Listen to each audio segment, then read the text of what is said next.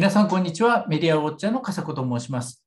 ウクライナのゼレンスキー大統領が日本の日本でも国会演説するということで、何を言うのか、何の言葉を引用するのかということが注目を集めておりますけれども、私の予想としてはですね、ノーモア広島、ノーモア長崎、ノーモアウォーというのを引用して、えー、訴えかけるんではないかというふうに予想しております。解説動画としてあげたいと思います。えーまあ、あの日本ゼレンスキー大統領ですけれども、アメリカの会議では、あのアメリカの議会では真珠湾攻撃の話を出して、一部日本人からは、見当違いの日本人からは、えー、何事だと、日本人をバカにしてるのかみたいなおかしな話にはなってますけれども、当然、ゼレンスキー大統領というのは、国に分けて別の話をしてますから、別にアメリカだから真珠湾の話をしただけで、日本には日本に受ける話を必ずしてくるはずです。で、えー、まあいろんな予測があってね、まあなんか日露戦争の話を持ち出してくるんじゃないかとか、まあいろいろ出てますけれども、えー、まああの私がまあ一番ピンとくるのはやっぱりこの広島、長崎の話ではないかなと。えー、まあ、日露戦争とかって言うと、やっぱりちょっと古すぎますし、え、まあ、あの、すべての日本人に響く話題って結構難しいと思うんですよね。まあ、それこそ真珠湾を取り上げただけで、アメリカで取り上げただけで、一部日本人が惹かれてしまうみたいなことがあるわけで、とにかく絶対日本人にこの話をしとけば間違いないっていうのは、やっぱり広島、長崎の原爆投下の話ではないかなと。こことウクライナをつなげていくのが一番日本人に訴えかけるんじゃないかというふうに私は予想しております。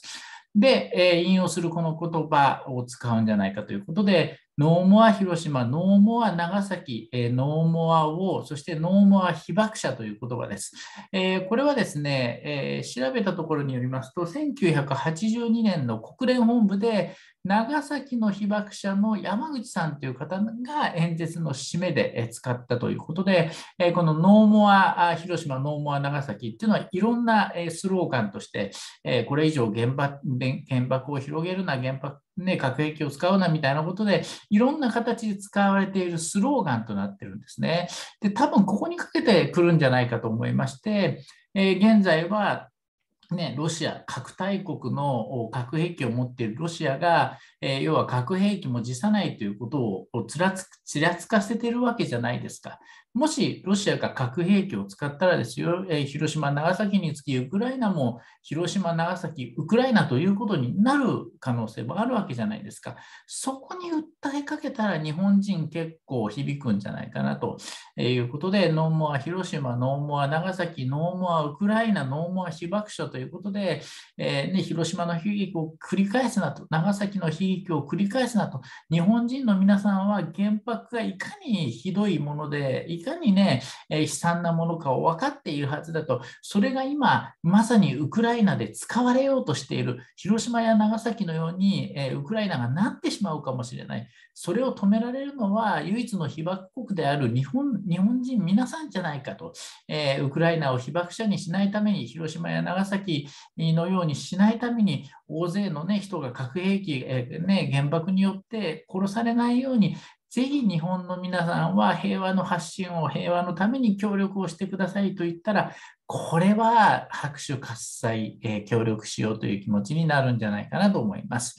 えー、ということで、まあ、ゼレンスキーの大統領、日本えゼレあゼレンスキー大統領、ウクライナの大統領ですね、えー、日本の国会演説で、えー、ノーモア広島、ノーモア長崎、えノーモアをノーモアウクライナという話を持ってくるとですね、えー、まあ、言い方は悪いかもしれませんけれども、日本の国会では非常に受けるんじゃないか。えー、まあ、右、ね、日本でもね、その野党から与党、右から左までいますので、え